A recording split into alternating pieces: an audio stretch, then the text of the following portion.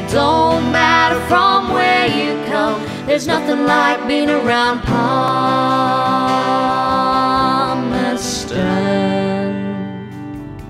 There's heaps happening around Palmerston and in other parts as well.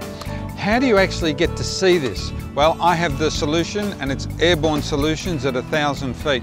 We use this little Bell 44. We'll bring you some pictures now. It shows how things are developing around Palmerston. Wishart Business Precinct has attracted several new tenants and looks terrific.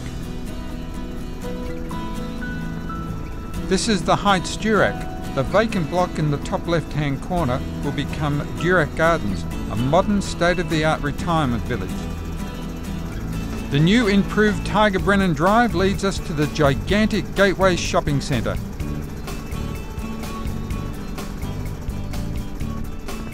Woolies, Big W, event cinemas, and a big bunch of specialty stores will give a great retail experience.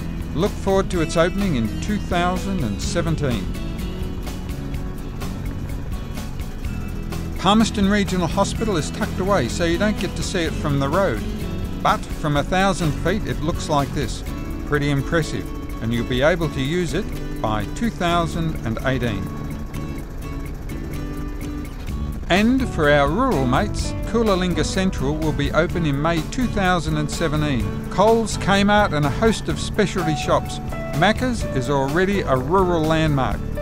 So there you go. As you can see, there is heaps and heaps happening around the place. Do not be negative about this place and I'll see you around Palmerston.